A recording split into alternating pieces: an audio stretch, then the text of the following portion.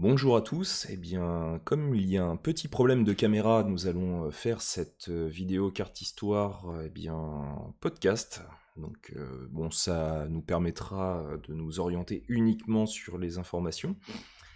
Et on va reprendre donc bien le chapitre 5 sur la mise en œuvre du projet républicain de 1870 à 1914 avec notamment donc la troisième et dernière grande partie, donc la République des radicaux, à l'épreuve des enjeux du XXe siècle, c'est-à-dire de 1892 à 1914. Alors nous avions vu la première sous-partie, nous avions vu euh, deux points, trois événements, euh, je le rappelle, hein, qui mettaient à l'épreuve la Troisième République. La première, c'était la poussée anarchiste, la deuxième, l'affaire Dreyfus.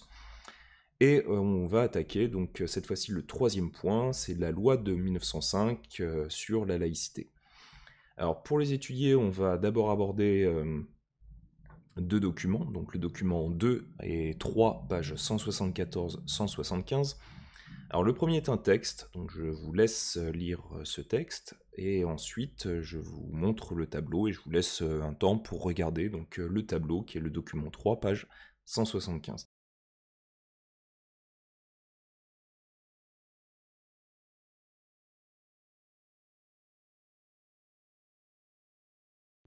Comme vous l'avez pu le, voir, hein, ce texte euh, important hein, sur la laïcité montre bien une séparation hein, des églises et de l'État.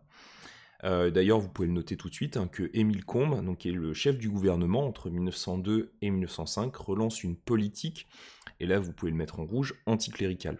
Alors, anticléricale, euh, vous pouvez noter que c'est tout simplement qui s'oppose à l'influence du clergé sur la société. je le rappelle, euh, que euh, avant euh, la Troisième République, il y a une, importance de la religion en France, notamment dans les campagnes.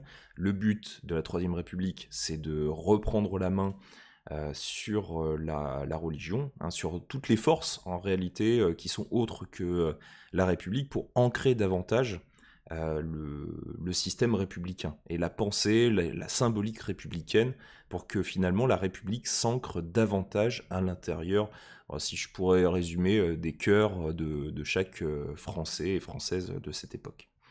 Et donc vous pouvez noter que ben, cette loi aboutit, ou plutôt cette politique, hein, aboutit en décembre 1905 au vote de la loi dite, et là vous pouvez le mettre entre guillemets, de séparation des églises et de l'État. Et sans transition, toujours, vous pouvez noter qu'une partie des catholiques considèrent ce texte comme un acte de persécution, hein, parce qu'il faut bien voir que, ben, comme on l'a pu le voir, hein, déjà, le, ce qui perdait de, vue, euh, ce que perdait de vue un petit peu l'Église, hein, et notamment euh, les catholiques, c'était euh, bien la transmission du savoir, parce qu'on avait des profs, cette fois-ci, les professeurs de la Troisième République étaient formés dans des écoles normales, la religion n'avait plus de voix au chapitre dans les établissements publics, donc il y a vraiment cette notion, cette idée un peu d'être persécuté par, euh, par la République. Et vous pouvez noter que sa mise en œuvre, euh, donc euh, cette, cette, politique, se heurte dans certaines campagnes à de fortes résistances.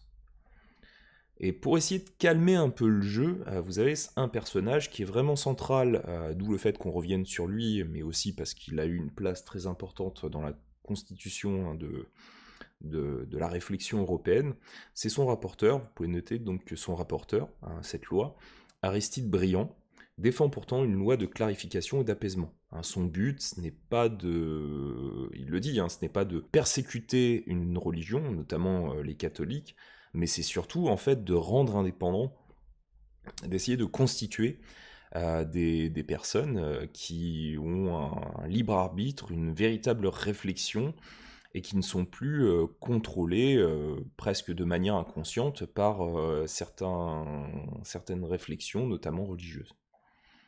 Et donc, vous pouvez noter que la qualité du débat à la Chambre hein, des députés et au Sénat participe à consolider donc le régime.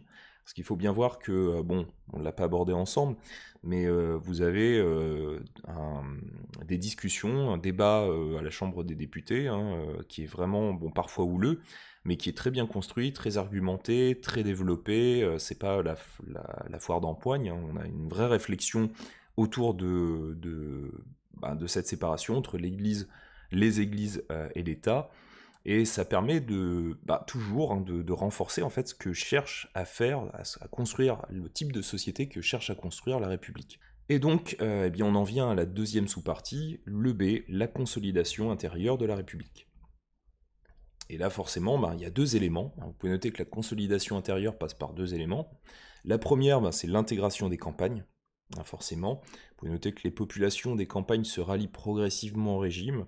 Euh, elles ont d'ailleurs accès, euh, elles ont d'ailleurs, hein, ces personnes, accès à l'information grâce au courrier postal et à la presse, et voyagent plus facilement grâce au chemin de fer, ce qui permet, là aussi, de découvrir autre chose que, euh, ben, la vie dans, la campagne. Vous avez certaines personnes qui voyagent notamment dans la ville, qui, bah, qui se, gorgent d'informations à l'intérieur de, la ville, et qui finalement ben, ont une réflexion qui est beaucoup plus ouverte euh, qui leur permettent d'avoir des comparaisons, en fait, euh, tout bonnement, hein, qu'ils ne pouvaient pas avoir dans, dans un territoire enclavé comme leur, euh, leur campagne. Et donc, bah, finalement, ce que vous pouvez noter, hein, c'est que la paysannerie est ainsi mieux intégrée à la nation. Hein, c'est-à-dire que faut voir que la France, pendant très longtemps, ben, quand on vivait dans sa campagne, on mourait aussi dans sa campagne, dans son petit village, et donc le fait qu'on ait le chemin de fer, qu'on ait euh, donc euh, un temps pour se déplacer qui est beaucoup plus rapide, euh, qu'on ait des informations plus facilement d'un peu partout en France, ben, ça, forge une autre vision de la France, beaucoup plus prégnante, beaucoup plus proche.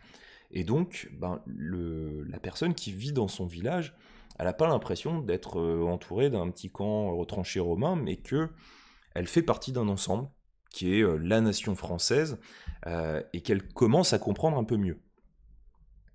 Et donc vous pouvez noter que les valeurs de la République sont de plus en plus partagées. Euh, le député et le maire s'imposent comme des nouvelles figures locales. Et vraiment, il y a cette notion, le maire prend une place très importante, notamment comme on l'avait pu le voir auparavant, parce que ben, chaque commune, que ce soit des communes urbaines ou rurales, doit avoir sa mairie. Et donc, ce relais entre la République et euh, ben, le, territoire passe notamment par le maire ou le député. Et alors, il y a un deuxième point, cette fois-ci, c'est l'intégration du mouvement ouvrier. Alors, pour le comprendre, je vous laisse regarder une vidéo de la petite, histoire du SFIO, donc euh, entre individus et collectifs, hein, donc faite par individus et collectifs, en 2018, et qui retrace un peu donc euh, l'histoire de ce, parti politique qui est le SFIO. Donc, je vous laisse regarder, et ensuite, je reviens à vous.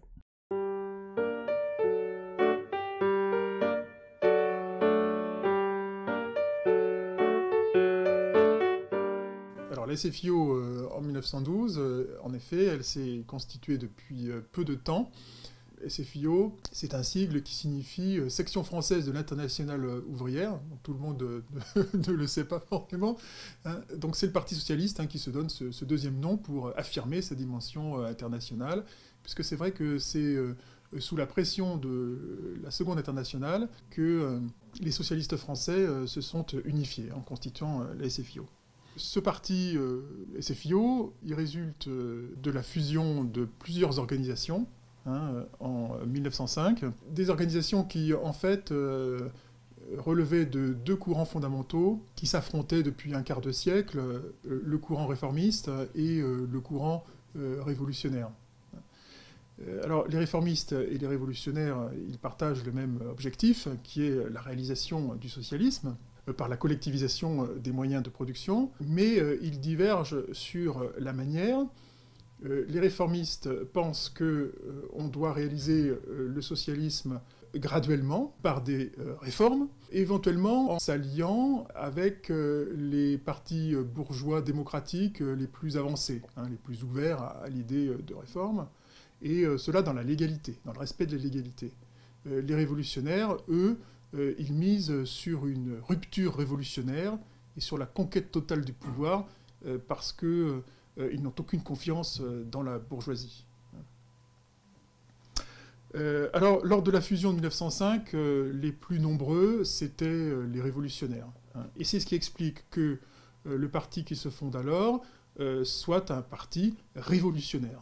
Hein. C'est un parti qui prend la doctrine marxiste pour, base, il s'affirme comme un parti de lutte de classe euh, et euh, de euh, révolution, et il refuse de s'allier avec le parti bourgeois, hein, pour parler comme lui, qui est le plus à gauche, le seul avec lequel il aurait pu s'allier, le parti radical. Donc un parti à l'identité révolutionnaire affirmée, mais il faut bien voir qu'il y a tout de même un décalage entre la théorie révolutionnaire et la pratique. Hein. Dans la pratique, l'identité de la SFIO est bien plus incertaine. Dans la pratique, la SFIO, elle se présente, elle se comporte comme un parti euh, républicain et euh, réformiste. Euh, elle essaye de réaliser au Parlement, d'obtenir au Parlement des, réformes sociales pour améliorer le sort de la classe ouvrière sans tarder, sans attendre que la révolution soit possible. Et elle n'hésite pas à s'allier avec les radicaux au moment des élections, notamment pour des désistements, parce que euh, c'est son intérêt. Donc un, parti à l'identité euh, finalement assez euh, incertaine. Alors ces ambiguïtés se traduisent par la cohabitation au sein de la SFIO de multiples courants. La SFIO est un parti de courants.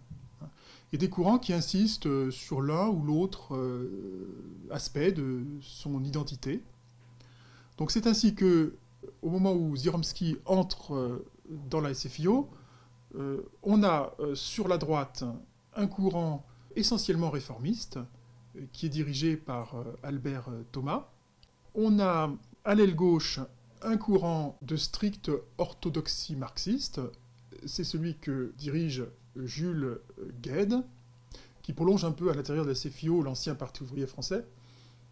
Et puis on a deux tendances à l'extrême gauche, une tendance euh, conduite par euh, Hubert Lagardelle, euh, qui est inspiré par le syndicalisme révolutionnaire, et une tendance dite insurrectionnaliste, conduite par Gustave Hervé. Alors heureusement pour elle, la SFIO dispose d'un chef de file avec Jean Jaurès qui est capable de maintenir et même d'approfondir son, unité euh, Jaurès est un philosophe euh, qui est euh, admiré par beaucoup pour sa culture et sa grande éloquence. Il dispose d'une aura, d'un rayonnement qui s'étend au-delà du parti et qui est relayé par le quotidien L'Humanité, quotidien que, que, Jaurès a fondé en 1904, donc un peu avant la fondation de la SFIO, et qui est devenu l'organe du Parti socialiste, dont Jaurès est resté le directeur euh, politique. Jaurès euh, est parvenu à opérer une synthèse entre le réformisme et euh, les idées révolutionnaires, une synthèse qui fait à peu près consensus désormais, en 1912, hein, à peu près consensus entre les socialistes, une synthèse qui lie l'objectif lointain de la révolution à l'objectif à court terme des réformes sociales. Donc deux objectifs qui, dit Jaurès, ne sont pas contradictoires, euh, mais sont simplement à échelonner dans le temps. Cette orientation permet à la SFIO de se développer rapidement. Donc je rappelle les chiffres qui euh, illustrent cette expansion. Hein. de 1906 jusqu'à l'été 1914, ses adhérents euh, passent de 44 000 à 90 000, ses électeurs de 900 000 à 1 400 000, et ses députés d'une cinquantaine à euh, une centaine.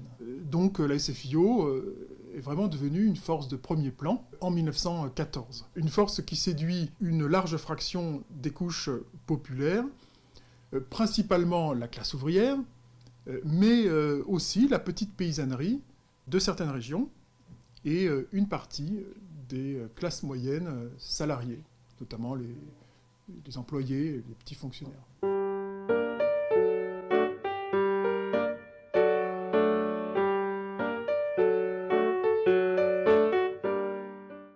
Comme vous avez pu le voir, euh, et vous pouvez tout de suite le noter, qu'en 1905, hein, comme quoi il se passe pas mal de choses en 1905, euh, eh bien l'unification du mouvement socialiste au sein de la SFIO se fait, et vous pouvez le mettre en rouge, SFIO, se fait sur le principe de la lutte des classes.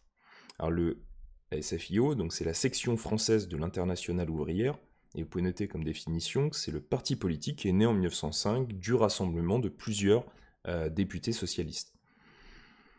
Et euh, ce qui renforce un petit peu donc cette intégration du mouvement ouvrier, c'est notamment, et là vous pouvez le noter en dehors de la définition, la charte d'Amiens de 1906 qui ancre la CGT dans le camp révolutionnaire. Et donc pour CGT, vous pouvez le mettre en rouge, et la CGT, donc c'est la Confédération Générale du Travail, qui est fondée en 1895 et euh, qui unit des syndicalistes de plusieurs branches d'activité. Et puis il y a un personnage qui est vraiment très important et qu'on retrouvera euh, lors de la Première Guerre mondiale, euh, c'est Jean Jaurès. Donc en dehors de la définition, vous pouvez noter que ce personnage, hein, que je développerai un peu plus, j'espère, face à vous, vous pouvez noter que sous l'influence de Jean Jaurès, euh, qui est persuadé que le socialisme ne peut se construire en dehors de la République, eh bien le réformisme se renforce et le socialisme trouve progressivement sa place dans la République. Alors pour réformisme, euh, pour l'expliquer, d'ailleurs vous pouvez peut-être le mettre en rouge, ce sera peut-être plus simple pour vous. Euh, le réformisme, c'est un courant porté par les socialistes qui entendent améliorer la condition ouvrière par des, réformes et par la loi. C'est-à-dire que pendant très longtemps, Hein, quand on pensait euh, mouvement socialiste, euh, c'était souvent le courant révolutionnaire qui voulait abattre l'État, qu'on appelle finalement les communistes hein, par la suite. Ben, les réformistes, qui sont petit à petit appelés socialistes, ben, les réformistes, c'est tout simplement des personnes qui se disent qu'il n'y a pas besoin d'abattre l'État, mais qu'on doit avoir un État socialiste, c'est-à-dire qui doit être dirigés par des, socialistes, des personnes de gauche, et qui vont faire des lois pour améliorer les conditions euh, des travailleurs. Alors par contre, il y a des grands encore, des grands absents, ou plutôt des grandes absentes, et euh, là, pour euh, voir un petit peu à peu près donc cette absence, même si, je le rappelle, sont encore présentes, c'est notamment la place des femmes, et d'une femme d'ailleurs. Donc je voulais vous montrer euh, donc une vidéo faite par France 5 en 2019 sur euh, Hubertine Auclair. C'est une femme euh, qui a travaillé en tant que militante pour le mouvement féministe. Donc je vous laisse regarder ce passage et ensuite je reviens à vous. Sur ces cendres, la Troisième République s'installe pour durer. Bientôt, elle garantit la liberté de la presse, le droit de grève et de réunion. La France est apaisée et renoue avec la démocratie, mais les femmes, toujours et encore, en sont exclues. Éternelle mineure selon le Code civil, toujours interdite de divorce, empêchée d'étudier ou de faire carrière. Elles demeurent sous la tutelle de leur père ou de leur mari, citoyennes de seconde zone.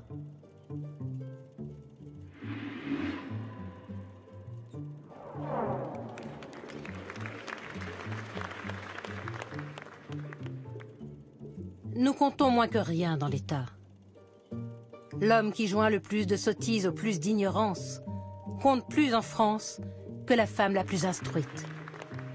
Il peut nommer ses législateurs, la femme ne le peut pas. Elle est un être à part, qui naît avec beaucoup de devoirs et pas de droits.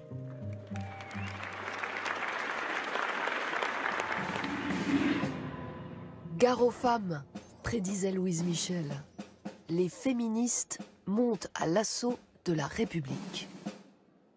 Hubertine Auclair est la première d'entre toutes à revendiquer ce terme pour elle-même, féministe.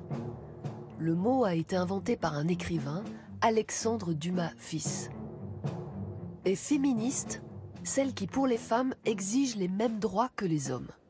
Tous les droits.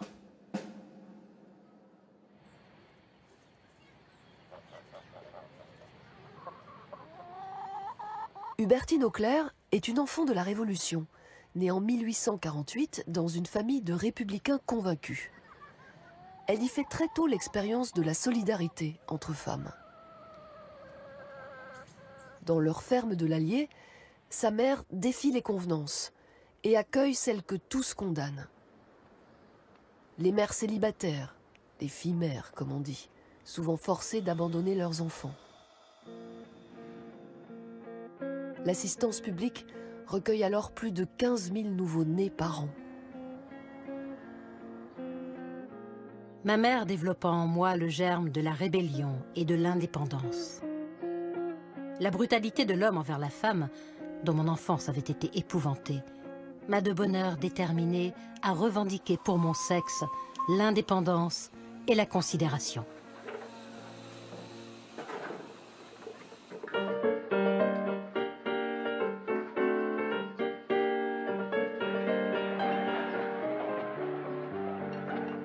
C'est à Paris qu'elle devient féministe. Elle a rejoint un journal, Le Droit des femmes, que dirigent deux journalistes républicains et francs-maçons, Léon Richer et Maria de Rem. Auprès d'eux, Hubertine se forme. Mais bientôt, ses parrains et marraines en féminisme la déçoivent. Léon Richer et Maria de Rem sont réformistes.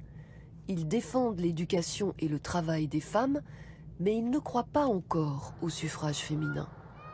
Comme Georges Sand dans son temps, ils jugent les Françaises trop soumises, trop ignorantes, trop conservatrices pour voter. Argument inacceptable pour Hubertine Auclair. Elle est décidée à écrire une nouvelle page de l'histoire des femmes. Le féminisme qu'elle revendique est un féminisme intégral. Pour les femmes, elle demande le droit absolu, ici et maintenant.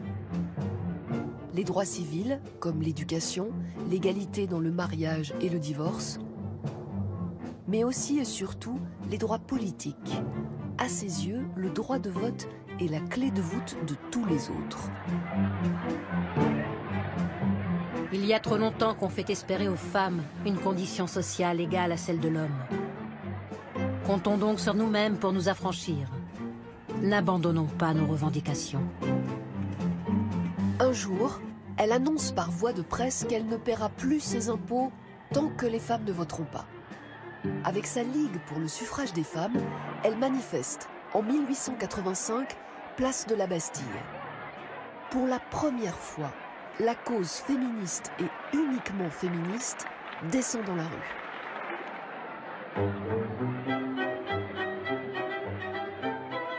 Les caricaturistes s'en donnent à cœur joie et crient au coup d'état féminin. C'est une vieille rengaine. Quand les unes disent égalité, certains ne veulent entendre que guerre des sexes.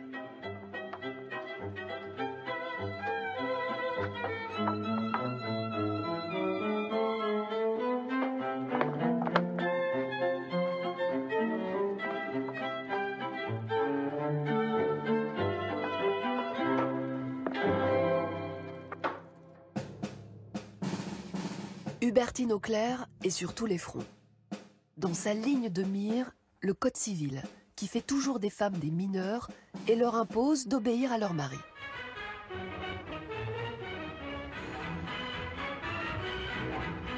Rapport de police. Mademoiselle Hubertine Auclair a prononcé dans la salle des mariages les paroles suivantes. Citoyens et citoyennes, ce que vous venez de jurer n'a pas le sens commun. La femme étant l'égale de l'homme ne lui doit pas obéissance. Je vous félicite cependant de ne pas aller à l'église, c'est de l'intelligence de votre part. Invitée au repas, la demoiselle Auclair a accepté. Pour se faire entendre, Hubertine Auclair n'hésite pas à interrompre des cérémonies de mariage. Elle a compris toute l'attention que ces coups d'éclat lui valent. Sans appareil ni parti, elle impose la cause des femmes dans le débat public. Les féministes ont pris la parole, elles ne la lâcheront plus. Ni électrice ni éligible, il leur faut pourtant l'entremise d'un homme pour changer les lois qui les affectent. Pendant dix ans, le député Alfred Naquet s'est ainsi acharné à faire rétablir le droit au divorce, interdit en France depuis 1816. Les débats ont été violents, opposant conservateurs catholiques et laïcs libéraux. La partie est gagnée en 1884. La loi est imparfaite, elle ne reconnaît que le divorce pour faute. Mais elle libère enfin les femmes des mariages imposés et des unions malheureuses. Voilà, donc comme vous avez pu le voir, bah, les grandes absentes, ça vous pouvez le noter, hein, que les grandes absentes de cette intégration, eh ce sont les femmes. Euh, la question du droit de vote des femmes gagne pourtant de l'importance dans le débat public. Et vous avez même un mouvement féministe qui se structure autour de journaux et d'associations. Et là, vous pouvez marquer entre parenthèses en exemple que Marguerite Durand euh, et euh, Maria Véron, donc qui sont deux femmes qui font partie du mouvement féministe, animent le journal La Fronde, qui est entièrement géré par des femmes. Et avec euh, Hubertine Auclair et Madeleine Pelletier, eh bien, ce sont les premières, et là vous le mettez en rouge, suffragettes françaises. Et donc, pour suffragettes, vous pouvez noter que ce sont des femmes qui militent pour le droit de vote des femmes. on avait déjà vu euh, un passage, hein, notamment euh, sur les suffragettes britanniques. Je rappelle que, par exemple, hein, dans un film qui prend place fin 19e siècle, début 20e, hein, notamment, enfin plutôt fin 19e siècle, comme le film de Disney Mary Poppins. Euh, bah, Mary Poppins, euh, ça se passe dans la période euh, fin 19e siècle, dans une famille bourgeoise, et d'ailleurs, je ne sais pas si vous l'avez déjà vu, mais la mère de famille est une suffragette. pour recadrer un petit peu la période.